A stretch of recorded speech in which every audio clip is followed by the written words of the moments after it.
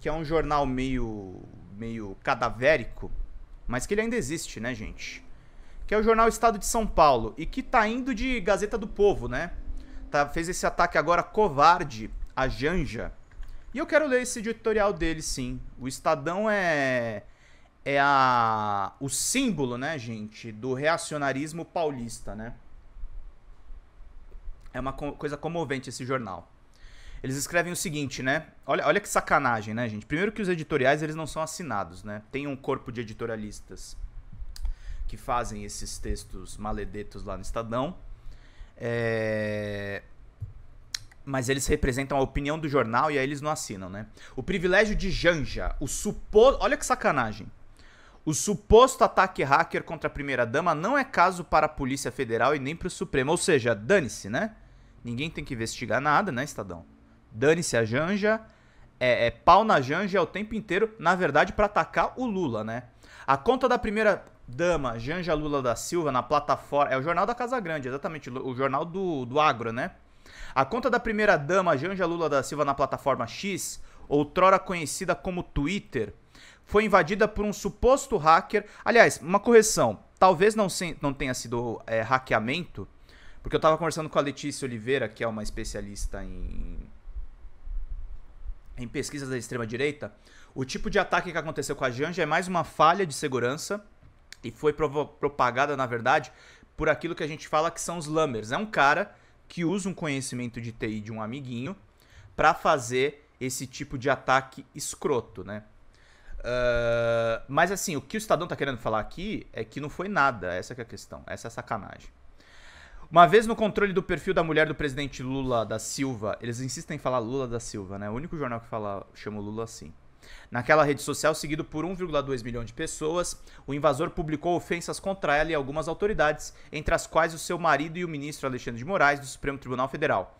Caso fossem respeitadas a lei processual penal e a Constituição, que o Estadão não respeita, o Estadão é golpista, o crime do qual Janja da Silva foi vítima deveria ser investigado pela Polícia Civil.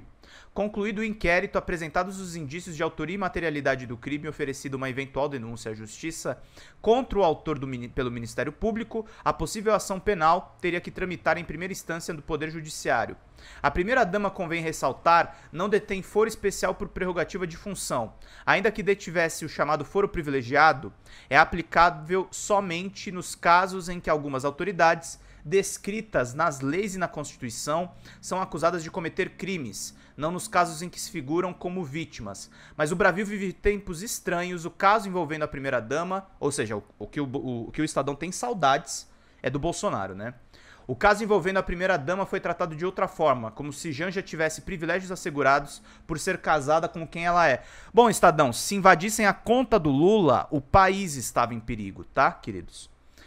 Pouco após a invasão, a Polícia Federal foi acionada e cumpriu os mandados de busca e apreensão em Minas Gerais e no Distrito Federal, nas residências dos suspeitos, incluindo um adolescente de 17 anos. A, a residência dos suspeitos, incluindo a, é, a operação policial a cargo da Diretoria de Crimes Cibernéticos da PF, foi autorizada pelo ministro Alexandre de Moraes. À luz da lei, é incompreensível que a invasão da contra da senhora Janja da Silva numa rede social tenha se tornado objeto de investigação da Polícia Federal e não da Polícia Civil. Ainda é mais surreal o envolvimento de um ministro do Supremo no caso. O, o, o, o invasor atacou o Alexandre de Moraes, ele tem direito de se defender também. Em abril de 2016, vale recordar, um hacker invadiu o celular de Marcela Temer, à época mulher do então vice-presidente Michel Temer, e exigiu dinheiro para não revelar o conteúdo do aparelho. A investigação do crime foi conduzida pela Polícia Civil de São Paulo e o achacador acabou condenado a 5 anos e 10 meses de prisão em regime fechado após o processo que correu na Justiça Paulista. O que, que, mudou nesses sete anos? Do ponto de vista legal, essencialmente nada.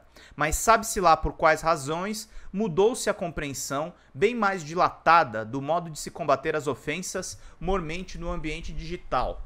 A partir do perfil das vítimas, sobretudo quando são autorizadas a, ou são autoridades ou pessoas a elas relacionadas. A materialização dessa distorção é o notório inquérito das chamadas milícias digitais, que foi instaurado com um propósito legítimo, mas logo se conver converteu numa barafunda interminável que tem permitido ao STF se imiscuir nas investigações que nem remotamente tinham que estar a cargo da mais alta instância do Poder Judiciário do país. O caso de Janja é só mais um a pequenar a corte, desprestigiando o sistema de justiça como um todo. É, é, é, muito engraçado, né, gente? Porque quando o gabinete do ódio do Bolsonaro surgiu, é... o Estadão foi um dos primeiros jornais atacados, tá? E deixa eu agradecer aqui já de cara a Lúcia Sema, que já entendeu aqui o propósito do nosso canal. Já tá mandando aqui uma super contribuição. José Wilson, aliás, eu recebi nessa semana uma tentativa de acesso na minha conta do X. Como eu não usava há mais de 5 anos, fui lá e cancelei. É isso aí, José. O Estadão foi um dos primeiros jornais atacados, tá, gente? É, a repórter deles, que é a. Deixa eu ver até um negócio aqui, o, no, o nome dela. Alan dos Santos, repórter Estadão. Ela não tá mais no Estadão hoje em dia. Mas é a. Caramba, esqueci o nome dela. Ah, aqui, ó. A Constança Rezende, hoje ela tá no, no UOL ou na Folha. Ela me segue no Twitter, inclusive. Eu, eu gosto muito do trabalho da Constança. É, o Alan dos Santos atacou a Constança, assim, di, di, diretamente, entendeu? E aí vira uma coisa que o Estadão mandou as favas, entendeu? O mínimo de dignidade, gente. Porque é o, é o seguinte, a briga com o gabinete do ódio do Bolsonaro, vocês precisam entender uma coisa muito clara. Eu sou um jornalista declaradamente de esquerda.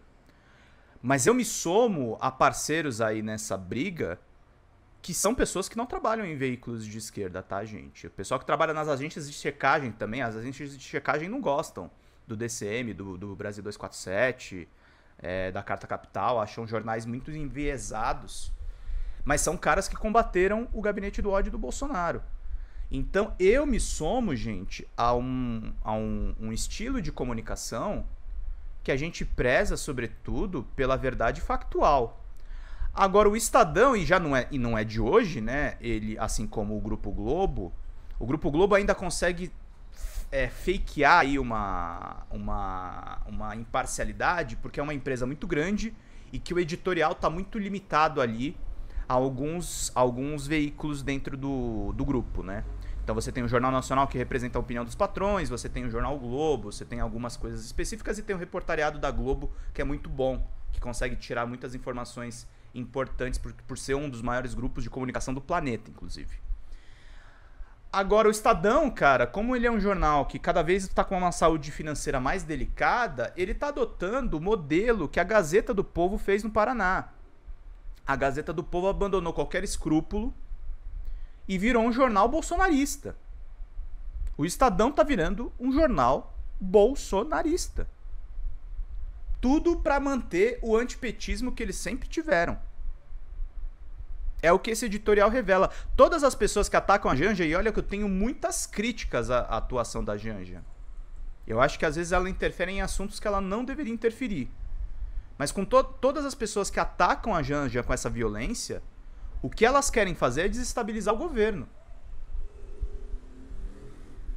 Isso precisa ficar muito claro para as pessoas que estão acompanhando. E o editorial do Estadão presta esse desserviço. Os caras não se vangloriam de que, de que eles são pro, jornalismo profissional. Esse é o jornalismo antiprofissional. Esse é o jornalismo que passa pano para fascista. É disso que a gente está falando aqui. É por